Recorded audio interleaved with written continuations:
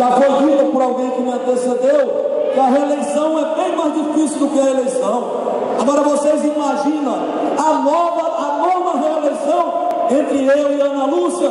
Nós estamos no oitavo mandato, vamos passar para o nono com a graça de Deus e com o apoio do povo da nossa cidade. Queremos dizer aqui que nós, Fábio, que nós, Paulinho, esse povo que está aí, ele veio aqui para dizer, Fábio, parabéns pela sua gestão. Que Deus ilumine os próximos quatro anos, porque nós faremos uma cidade cada vez.